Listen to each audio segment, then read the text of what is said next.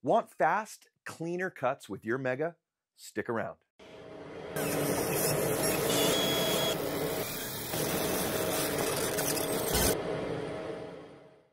Welcome back to the channel, everyone. I'm Brett, and this is my Laser Garage.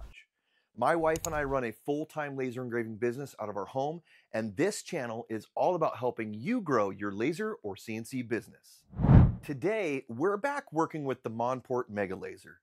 If you own this machine, you already know the stock air assist leaves a lot to be desired. You know, it's a common issue, especially with desktop style lasers, there just isn't much room to work with inside the cabinet. And even though the Mega is a huge desktop unit, space inside the case is still limited, which means the stock air pump is, well, pretty underwhelming. Honestly, it looks more like something you get from a small diode laser. But today, we're going to fix that. I'm going to show you how to easily upgrade this setup with a much more powerful air assist system. And the results speak for themselves. Cleaner cuts, way less char, and seriously improved performance. Let me show you what we're going to need to make this upgrade possible. First, you'll need a 24 volt pneumatic solenoid. This is basically an electronically controlled valve that switches your air on and off automatically. You'll also need some 6 millimeter or quarter inch air tubing and a few fittings. I'll show you exactly which fittings I use later on, but I'll also link to the air tubing kit I picked up, along with everything else in the description below. The kit I'm using comes with a wide variety of fittings, so you've got plenty of options and lots of extras. You'll also need a rubber grommet, and finally, you'll need a regulator and, of course, an air compressor. Pretty much any air compressor will work, but your tank size and CFM rating will affect your performance and duty cycle. Personally, I really like using these 8 gallon ultra quiet compressors from California Air Tools. They're a great price and they perform really well. Now that we've got all the parts ready to go, let's open up the laser and start the install.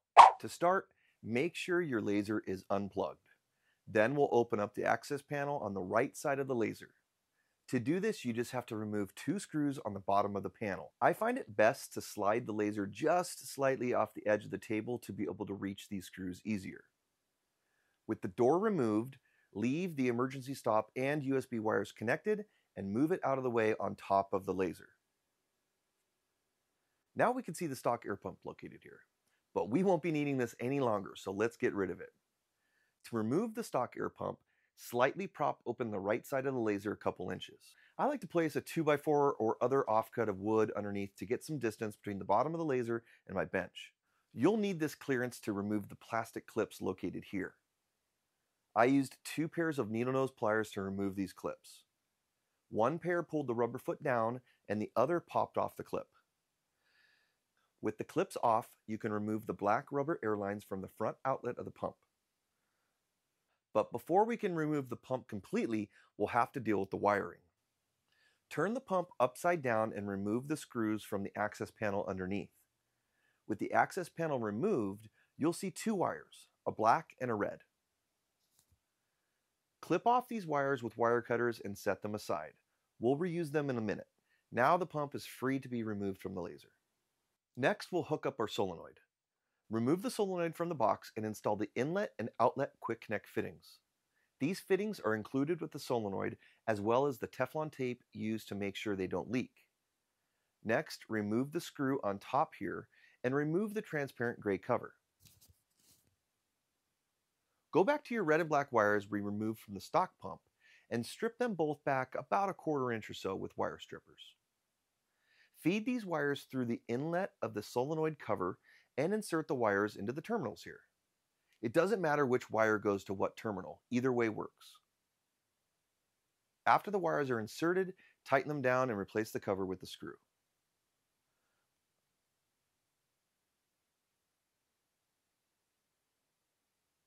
I'll set the solenoid aside here for now and start working on the air plumbing. In order to complete these steps, you'll need to remove the back cover of the laser. There are screws on the inside of the laser and also a couple underneath the rear cover. Carefully remove the cover partially by lifting it straight up. I like to then rest it on the back of my table and remove the three wires from the power cable connection so I can completely remove the cover.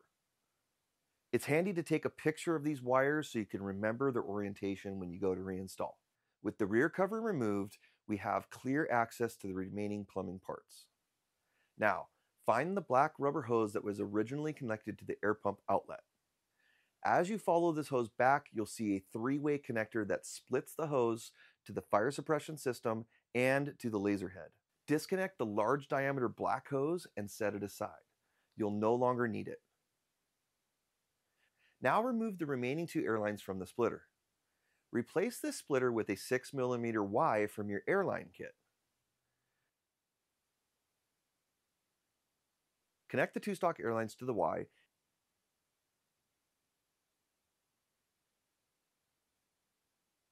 and cut about a 12 inch section of 6mm airline, which will connect to the other end of the Y. Route this new section of airline back into your solenoid and connect it to the outlet labeled out.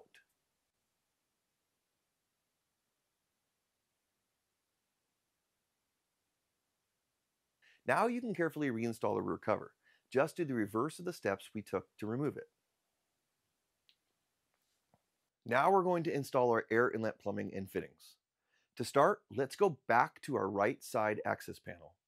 You'll need to drill a hole in this panel for our new airline to pass through. I like to use a punch and a step drill bit to drill about a half inch hole through the metal door. Install the rubber grommet from our kit in this hole to protect our new 6mm airline we're going to pass through it.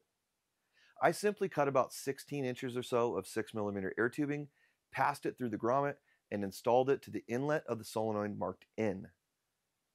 Leave about an inch or so of this hose sticking out through the front of the access door and reinstall the access door. I then added a 90 degree quick connect to the stubbed out portion of the airline.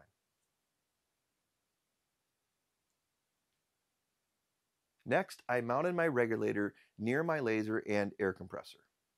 And finally, I ran more air tubing from my compressor to the regulator and from the regulator to the 90 degree fitting out on the outside of my laser. For cutting wood, I like to run about 20 psi, which is controlled through the regulator we installed. And for engraving, I mostly turn the air assist off.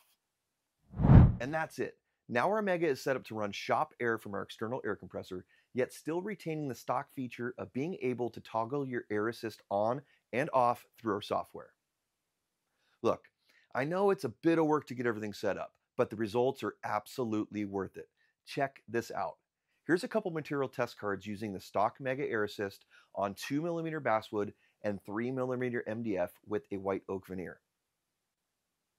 Now, here's the same test, but with our upgraded setup. The difference is clear. Cleaner cuts, less charring, and noticeably better overall performance. If you want to get the most out of your Monport Mega, I definitely recommend doing this upgrade. I've linked everything you'll need down in the description, so check it out and level up your laser game. Also, if you're looking for fun, profitable laser projects, check out my Etsy shop. I've got digital files for things like custom piggy banks and graduation money holders that I showcased in an earlier video. Both cut beautifully on this Mega with the upgraded Air Assist. They're great sellers, especially this time of year. And as always, if this video helped you out, hit that like button, subscribe, and drop a comment if you got any questions. I'm always here to help. Thanks for watching, and I'll see you on the next one.